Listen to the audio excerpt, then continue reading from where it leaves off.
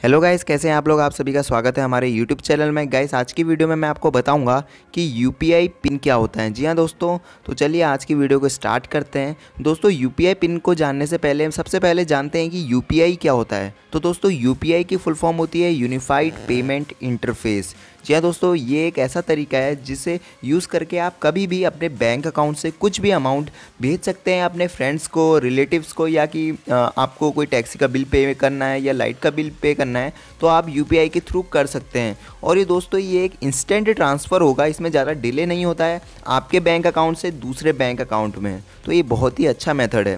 दोस्तों, अब सवाल आता है कि यूपीआई को किसने बनाया है और इसके पीछे कौन है? तो दोस्तों, इसको बनाया है national payment corporation of India ने, जिसको रेगुलेट करती है रिज़र्व बैंक ऑफ़ इंडिया और जो कि एटीएम भी बहुत सारे मैनेज करती है।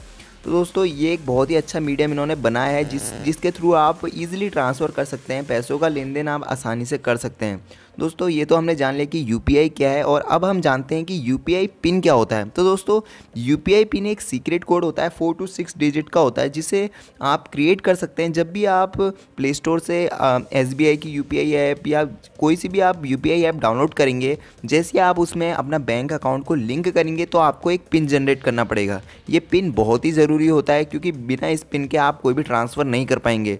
तो दोस्तों, इस पिन का इस्तेमाल करके आप पैसा भेजने के लिए भी कर सकते हैं और साथ ही में अपने जो भी आपका अकाउंट बैलेंस है, उसको चेक करने के लिए भी आप इसका इस्तेमाल कर सकते हैं। वो भी बड़ी आसानी से।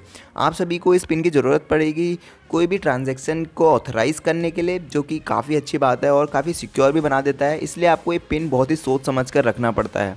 तो दोस्तों, आज की वीडियो में मैंने आपको बताया कि यूपीआई और यूपीआई पिन क्या होता है। तो दोस्तों, कैसी लगी आपको वीडियो यार? अगर अच्छी लगी है तो प्लीज़ इसको लाइक कर दीजिए और चैनल को सब्सक्राइब भी कर लेना। और दोस्तों, साथ में आपकी कोई क्वेरीज है तो नीचे मुझे कमेंट बॉक्स पे बताइए और आपको किस टॉपिक पे वीडियो चाहिए तो मैं उस वीडियो पे उस टॉपिक पे वीडियो बनाने की पूरी कोशिश करूँगा। तो दोस्तों, अब मिलता हूँ मैं आपको नेक्स्ट वीडियो में। तब तक के लिए बाय